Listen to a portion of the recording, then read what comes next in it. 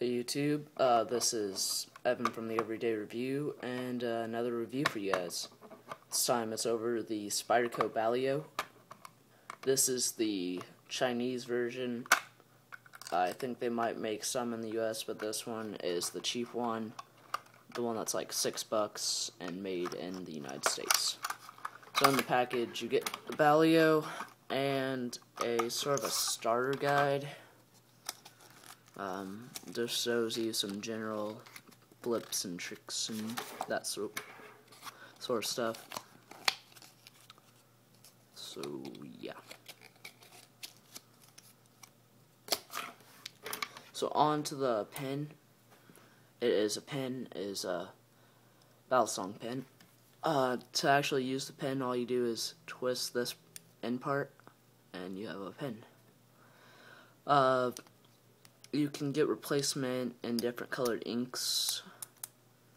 So if you don't want the black ink that comes with, never mind, it comes with blue, uh, blue ink. Sorry, I wrote something down with it earlier, and I just looked over at it and realized this comes with blue ink.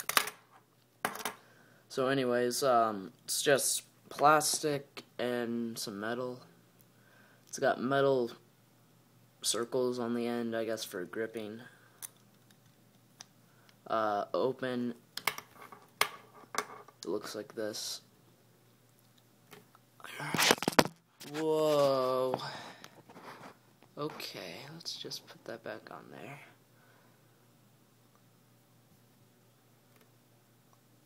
I don't know if you can see this. Trying to focus. Oh, never mind. Anyways, it's like a U. You can See my finger goes into it. It's like a U shape. And that's how it forms around the pen. And it's so compact. Has a wire clip on each side. So it fits in your pocket real nicely. Just like that. And that's all that shows out of your pocket. Uh, you can do almost all tricks that you do with a regular balisong with this. Tell you what, I'll go get my balisong so you can compare it.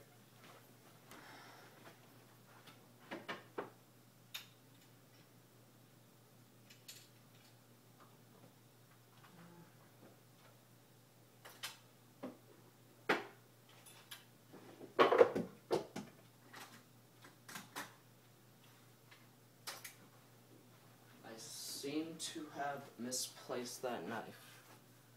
Uh, I will probably find it later.